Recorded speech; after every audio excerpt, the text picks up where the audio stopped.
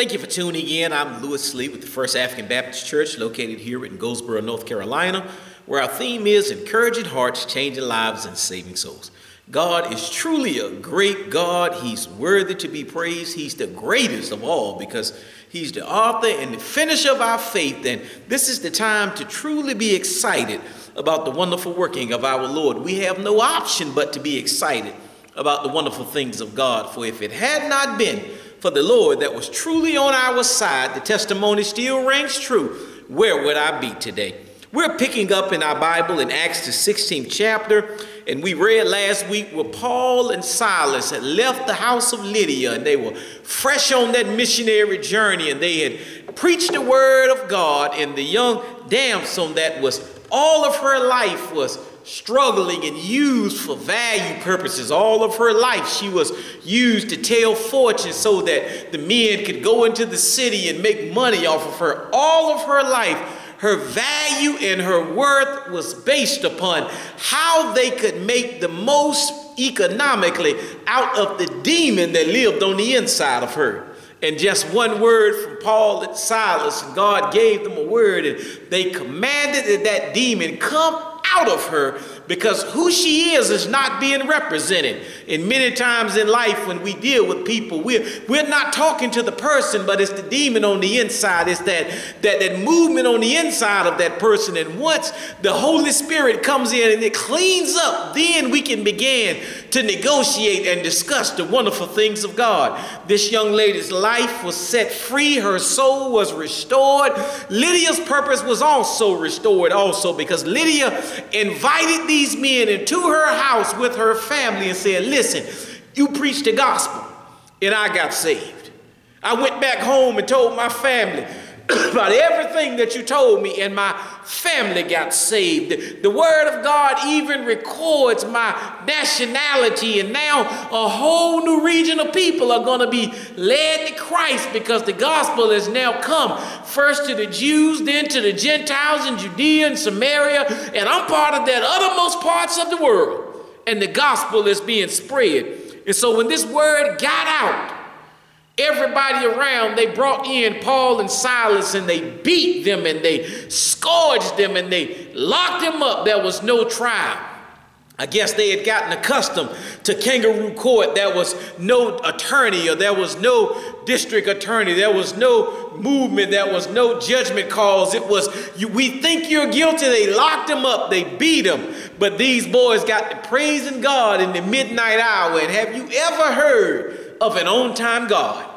Well, leading up to this text, we see the power of an on time God because when they began to pray and to celebrate God and to celebrate all the wonderful things that God has done, when they began to rejoice in that midnight hour, yes, those stripes hurt, but they were praising God anyway. Yes, the inflation felt like it was borderline criminal, but yes, they were praising God anyway. Yes, they were robbed when they stopped at the gas pump and gas $4.38 a gallon, but they praised God anyway. And in the midnight hour, God sit down the power and he began to speak to the elements. He spoke to the plate that's in the earth. He spoke to the diamond and the granite and the uranium and the zinc and the mercury. And he said, listen, guys, I need you to do something for me. Shake open the jail. And you know, those elements and those rocks were standing by because the Bible says that if we don't praise God, he'll command the rocks to crowd and praise him.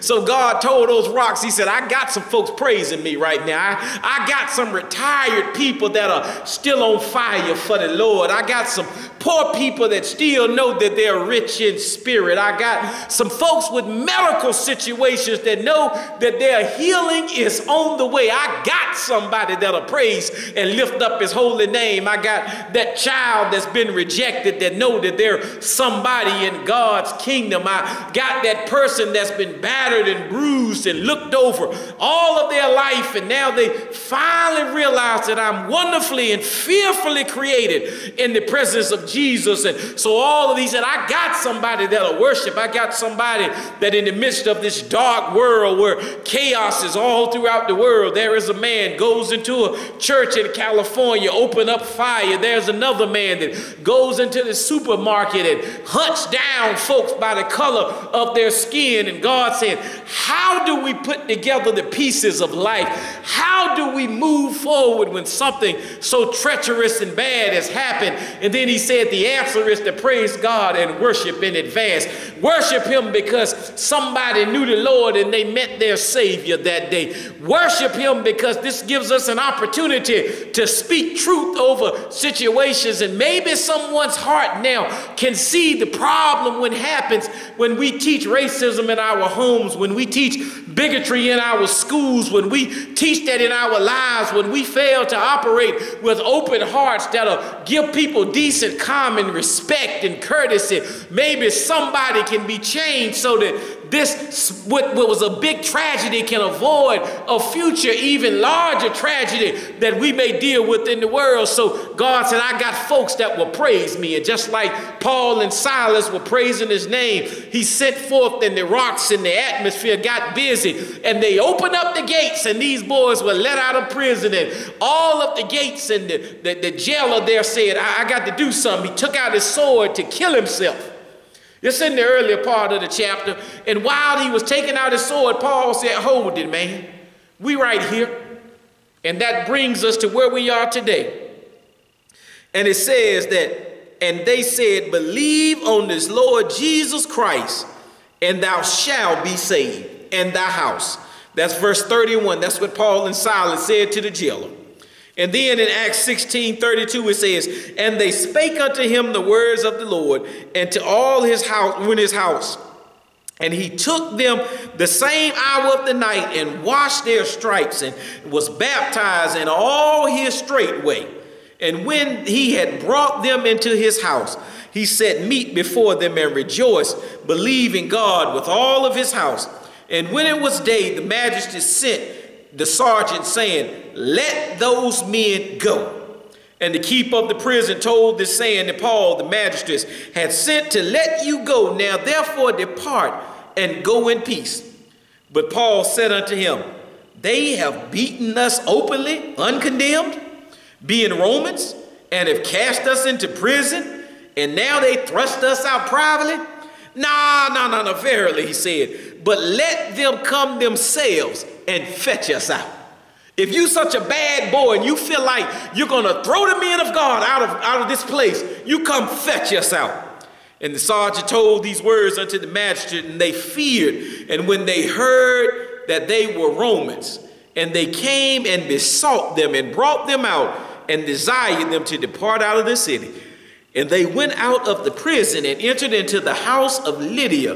And when they had seen the brethren, they comforted them and departed. Can you see the power of what's going on? These guys' stripes only made them better. And the stripes that we deal with in life, the problems that we go through in life, they're only in our lives to make us better. Today, think about it. It's by my stripes that I am made better. LaShun Pace Rhodes wrote a song in the late 80s. And the songwriter said, If I was in control of my life, the heartaches, the pains, and of these things, my life would be scot free. But that just goes to show how little I know about leading and controlling because all these things worked out to make the best of me. Lord, help us today. Help someone to receive your word, that someone's life may be fortified by the preaching of your gospel. It's in Jesus' name we pray. Amen. My stripes make me better. Now, it's clear that these guys had experienced the movement of God. There is no doubt that God rained down from glory. And when he commanded that the jail doors be opened, and not only did he command it, and see, God doesn't operate in miracles to show that we're bigger or better. but God's miracles are given so that mankind might be redeemed and saved. You are a living miracle if your testimony is that I shouldn't be here today. Well, God kept you here today because God has value in your life. God kept you here today because there is a story that God has that somebody around you need to see it in your life and know that he's real. God has provided for you today so that we can share the goodness of God and let the world know that God is an on time God and a way making God. And the same was moving here when they sent the word and they heard that the jailer that you placed out there to watch over Paul with his life on the line and Silas that jailer not only was ready to kill himself, but they stopped him from killing himself. And don't you know they told that jailer the same stuff that they were preaching out there in that city? And that jailer got saved, took them boys back home, fed them steak and mashed potatoes and gravy, and their family got saved. And now all of a sudden, they're all rejoicing about the goodness of the Lord. And Paul and Silas are still in this city and they're preaching. And magistrates, what are we going to do? Magistrates began to fear and they sent it down and said, Tell Paul and Silas to go on now. Tell them to leave now. They've done what they need to do. Get on out of town. And look at Paul. Can't you see it now? Early on in the text, the early church was running from city to city, fearing for their lives. Early in the early church, they were trying to hide, just keeping away as many were out there committing major crimes against those that would lift up the name of Jesus. They had empirical evidence that came out of the very mouth of Christ that if any man shall follow him, he shall suffer persecution. But it was by those stripes that Paul and Silas realized that even when this body is attacked, it does not diminish the power of what God is about to do. Paul and Silas began to gain some boldness in life where they told the man, they sent it back and said, listen, I spent a night in jail. It didn't kill me. I took your beatings out there in the streets. They did not destroy me. I saw you spitting on me and not wanting to deal with me because of the color of my skin or the neighborhood that I came from. That didn't break me. He said, Listen, we're not going anywhere. We're going to stand on God's word. We're going to preach the word of God. Oh, how powerful this movement is and this message is to any preacher out there that's afraid to lift up the name of Jesus, any family member that's afraid to witness to your family and tell them about the goodness of Jesus, anybody that's ashamed and scared to tell your neighbors that the Lord Jesus is real. Anybody that's fearful on your job, wondering if things are going to work out when God has said he will provide. Paul said, you tell that magistrate that if he want us to leave and stop preaching the name of Jesus, he bring himself down here and fetch us out. Not only does our stripes give us and present us what we can deal with challenges, but it also gets a level of confidence when Paul said, I, I know who my God is and I know what God will do. You know, your bars, they can't hold me if the Lord say it's time to be free. Your stripes cannot destroy me if the Lord say that I'm going to be healed. That cancer cannot ruin my body if God said I got more life. That heartache in this financial situation can't put me in the poorhouse when my God said that he will provide according to his riches and glory. So when Paul said, come down here and fetch us out and send us out the city, and look at how the tables have turned.